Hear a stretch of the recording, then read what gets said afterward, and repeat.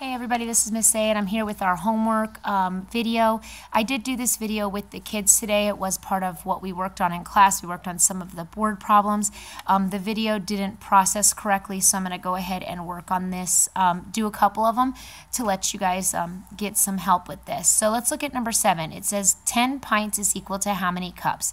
And my friend Anyaris, she put 20 because one pint is equal to 2 cups. And what she did was she took 2 times 10, which equals 20. So that's how we solved um, 5 through 10. That's we used our conversion sheet. And I will um, put a, or I'll take a picture, or I'll put it up there on um, YouTube as well, the conversions, but the kids do have those sheets. Um, they may have forgotten them, but I'll make sure I get one on there. So next we are looking at comparing. When we compare, we need to compare like units. Here we have or pounds and ounces. So I'm going to work on number um, 12 for us. So for every one cup, it's equal to 8 fluid ounces. So what I'm doing is I'm taking 10 times 8, which is 80 OZs, and 80 OZs, and they are equivalent. Once I change them, this becomes the new um, comparison, and 80 is equal to 80. So that's how I would do this. All right, let's look here at number 17. This is adding and subtracting of combined units. Here we have hours and minutes. This is 8 hours and 30 minutes minus 6 hours and 25 minutes. Um, my friend Donna did this one for me and she regrouped because we can't take 5 from 0. That's 10, so 10 minus 5 is 5. We regrouped, that made it a 2. 2 minus 2 is 0. And then 8 minus 6 is 2. So that's how we solved this one. Here we have adding. We always start with the right side. 4 plus 3 is 7, and we just bring down our units. 7 plus 4 is 11. Now, let me give you an example real quick. Let's say eight cups and four ounces plus seven cups and eight or six ounces. If I were to do that, that equals 10 ounces. Actually, let's do 14 ounces. So that's 10, regroup of 1, so that's 20 ounces, and that's 15 cups and 20 ounces. I can't have this because there are, for every one cup, that equals 8 ounces. So what I'm doing is from here, I would take 20 minus 8. I'm subtracting out ounces, and I'm giving it to cups, so that's plus 1 in the cups. That leaves me with 12. I'd have to do it again. Again, plus 1 and that leaves me with 4. So I have 4 ounces and then 15, 16, 17 cups. They could have problems on their test that resembles something like this. So they need to be aware, and again, they will have their conversion sheet. All right, let's look at um, number 20, this is about time. Um, we have what we know. We started at 10.30. We have 1 hour and 40 minutes. What time did rehearsal end? There are two ways to do this. We could add, which gave us 70 in the minutes column and 11 in the hours column. Obviously, we can't have 70 minutes because there are 60 minutes in an hour. So I subtract out 60 minutes but I give it to the hours, so that becomes 12, 10, and it's PM. And I showed in the two different strategies. This is adding and subtracting, and this is a number line, 12, 10 PM. Here we have standard adding. So my friend Fabiola wrote out the problem, and you see how she lined up her cups and her quarts. 2 plus 1 is 3.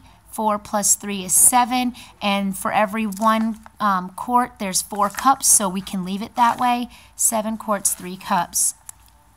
Here we had, um, we are figuring out, we have 2 kilograms, and we want to know how much that is in grams. For every 1 gram, there's a 1,000 kilograms. 1,000 times 2 is 2,000. Number 23 is the same type of problem. Um, it, we have a three-ton truck. How much is that in pounds? My friend Carlos wrote it out, 2,000, 2,000, 2,000, because that's one ton, two tons, three tons, and then we add them together, it's 6,000 pounds. Let's look at number 24. This is a time. We have an ending time of 115. We um, we canoed for an hour and 20 minutes prior to that, so we could work it out this way. 115 To go back was 15 minutes, so that left me with five minutes left in one hour, and that would be 1 p.m. because that's minus 15 minutes, minus 15, and then go five minutes, that is 12.55, and then one hour is 11.55. And it is a.m. because we went from lunchtime after p.m. When Once we cross over 12, it's going to switch, so it'd be a.m. Here we have um, where we need to figure out how much more milliliters. So it gives us the information in liters. We have to figure out the difference, which is one liter. And then we multiply that times a 1,000 because our conversion for every one liter is equal to 1,000 milliliters. So 1 times 1,000 is 1,000 more milliliters. Here we have decimeters. Um, and my friend Javier wrote it out for me. One meter is equal to 10 decimeters. 100 times 10, there are one, two, three zeros, and 1 times 1 is 1. And let's look at 28. Um, this is where we are looking at our conversion sheet and figuring out the relationship. The relationship, we look at the first two lines. It is 1 to 2. We would use our conversion sheet. It says customary units of liquid. We'd look under liquids and find the one that says 1 to 2, which is pints and cups. Relationship is 1 to 2, which means we multiply by 2. And here are our ordered pairs. We just write these numbers together. 1, 2, 2, 4, 3, 6, 4, 8, 5, 10. The last one is um, a um, plot line plot. We're given the data information. We have to write our information from least to greatest. That's in size, not the number of times it occurs, but the size. One fourth is smaller than one half, and one half is smaller than three fourths, and three fourths is smaller than one whole. I also write that information on my number line in sequential. One fourth, one half, three fourths, and one. I give it a title, and then I plot the data.